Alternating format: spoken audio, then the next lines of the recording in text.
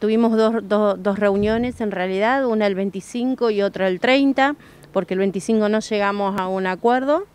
Eh, el 30 tampoco, pero bueno, por resolución, ¿no es cierto? Y por mayoría eh, se resolvió un 28% de aumento en tres tramos.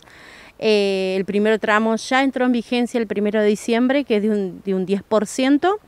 El segundo sería en febrero, de un 8%, y el 10% restante se, empezaría a aplicar en abril. En realidad a nosotros lo que nos molestó, incluso nuestro sindicato firmó en disidencia con este acuerdo, eh, es el hecho de que se, se dieran en tramos tan largos, ¿no? Eh, nosotros tenemos que considerar que este aumento en realidad debería haberse dado en junio, así que las compañeras ya vienen, ¿no es cierto?, con un atraso importante en el aumento del suelo y ahora ellos, ellos lo han, y cuando digo ellos digo el Estado, lo ha estirado hasta abril del año entrante, por tanto recién el mayo, junio del año siguiente estaríamos eh, recién sentándonos a tener una nueva charla salarial, ¿no es cierto?, eh, o sea que ya también nos estaría comiendo la mitad del año del 2021, así que no, nos, a nosotros no nos quedamos, no quedamos de acuerdo con eso, no quedamos de acuerdo con el tiempo, ¿no es cierto?, en que se aplicaban los porcentajes.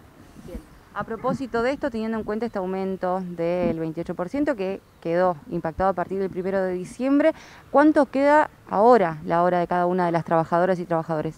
Bueno, la quinta categoría quedó en 158,95 como mínimo. Tenemos que recordar que si hay compañeras que estaban cobrando más, tienen que recibir el 10% sobre lo que ya estaban cobrando. Eh, por mes 19.569, estamos hablando siempre de la quinta categoría, estamos hablando de tareas eh, en general.